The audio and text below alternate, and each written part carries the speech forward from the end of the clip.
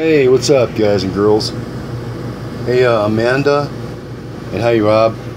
You did a really great job on packaging your radio, labeling it, leaving me a note what you what you want me to do, and having another letter in there with your return address. Awesome job.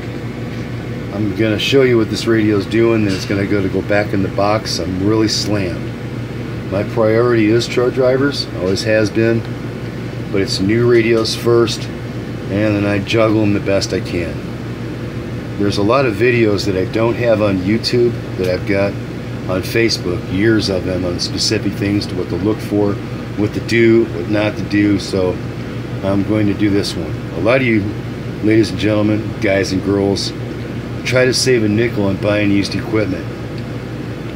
There are some times that you can buy used equipment if it's advantageous to your hobby very old equipment, there are people that specialize in that. We specialize in tuning on newer radios and repairs.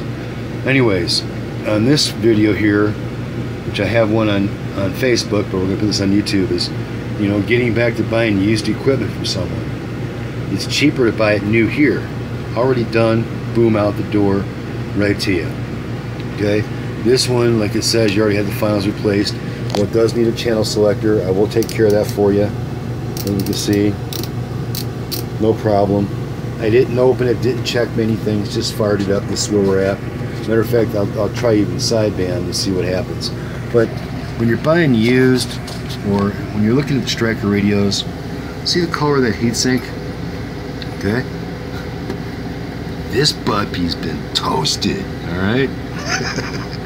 cranked up, wide open, high SWRs. This doesn't just happen in minutes. This is someone, you know, jack jaw on the radio, playing music, toys, recordings, or something to get it that hot because that's what it's supposed to look like.